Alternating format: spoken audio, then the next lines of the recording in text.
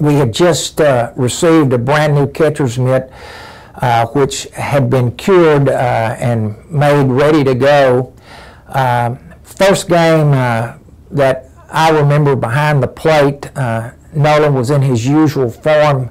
and his fastball as fast as usual, moving quite well. It would hit the glove, pop out, and and and look like I did not know what I was doing uh, behind the plate. So I, I, walked out the mound and I said, You're making me look like an idiot. We've got to do something different here. There was an old black catcher's mitt that had about a quarter of an inch tear. Uh, in it uh, that uh, was almost like a softball catcher's mitt for people who've played softball. Uh, and I put this thing on, was able to handle it uh, where we looked like we knew how to play baseball.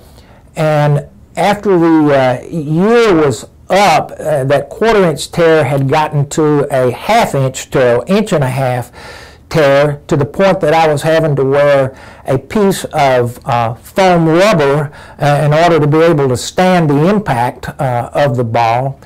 and even then it was so bad that my left hand would swell to the point when it was my turn to bat i had to uh, put my index finger down the bat and hold it almost like a golf club uh, to, to hit the ball uh, and even finish uh, the game. You can see how fast a fastball can come from nolan and it does not slow down uh, until the game is over. So when you're pounded that hard, that's what happens to an old wore out catcher's mitt.